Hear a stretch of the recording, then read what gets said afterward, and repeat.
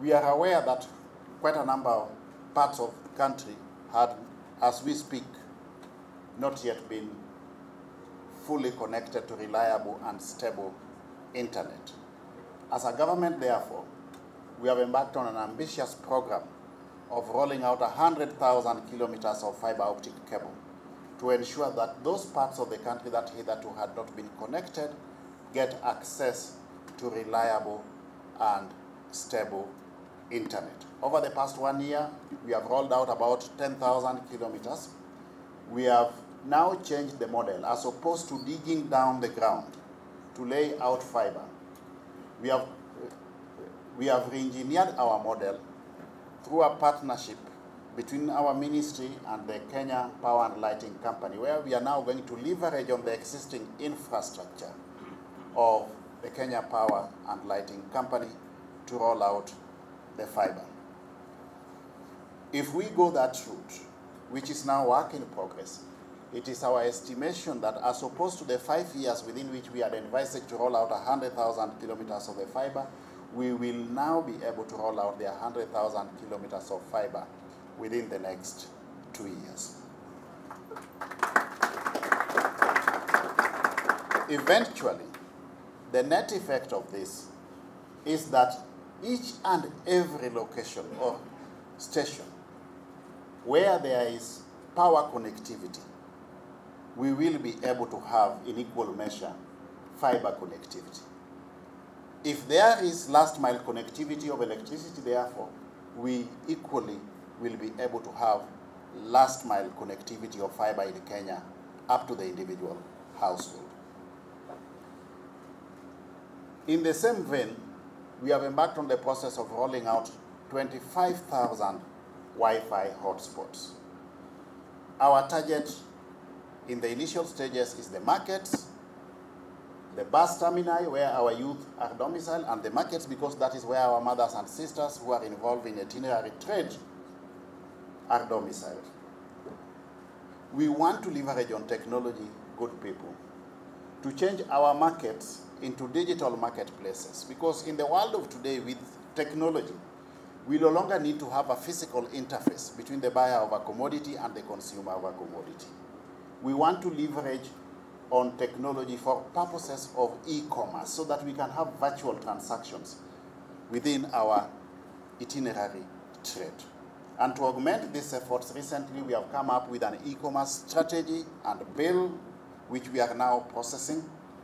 In equal measure, we have come up with a national um, addressing system policy and bill on the basis of which our e-commerce uh, initiatives can be anchored. So we are very clear in our mind that e-commerce will revolutionize the way we undertake our trade activities in this country. The other major program we have embarked on is digital skilling. We are aware that as we roll out the digital infrastructure, there has to be a corresponding or commensurate level of digital skilling among the Kenyan population. And in this regard, we have started by digital skilling for the youth. As we speak, we have deployed devices to a total of 116 TVET institutions where we are now undertaking digital skilling for the youth, but in equal measure also, we are connecting the youth to global technological companies for purposes of digital jobs. That is the frontier that we have at our disposal to sort out the unemployment problem that we have in this country. The digital space. There are enormous opportunities available in the digital space for our youth. We are going an extra mile through a partnership with our legislature, working together with our members of parliament to go now down to the villages and set up digital hubs. We are going to have a digital hub in each and every ward, the lowest administrative unit in this country. We are going to have a digital hub where we are going to undertake digital skilling for the youth. As government, we are going to facilitate the training. We are going to deploy the devices. We will facilitate internet connectivity. Of course, the starting point is the fiber connectivity, which is work in progress.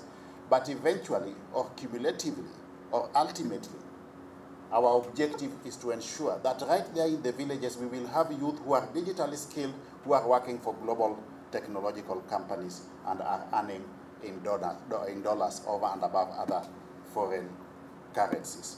That is the only way we can sort out the unemployment problem that we have in this country. Now, the question that we need to ask ourselves, good people, is if we have that level of digital public infrastructure, as government, do we still need to run manual processes in government? And the answer is no. That is why we are pursuing digitalization of all government services on one hand and digitization of all government records on the other. When we came into office, we only had 350 services aboard our eCitizen platform. As we speak today, we have got a whopping 16,862 services on our eCitizen platform. The import of this, good people, is that in the not too distant future now, Kenyans will have no rationale, justification to physically visit government offices to consume government services. This is very much in tandem with what has happened in other jurisdictions. Estonia has done it, we have just listened to it. India has done it, Pakistan has done it. Why should Kenya be an exception? We will facilitate a virtual mechanism of confirming that each and every Kenyan is the person he or she claims to be. And if that happens, again very soon, we should be able to run a paperless government.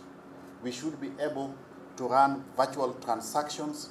And this is the only way as government that we will be able to enhance efficiency and effectiveness of service delivery to the Kenyan public.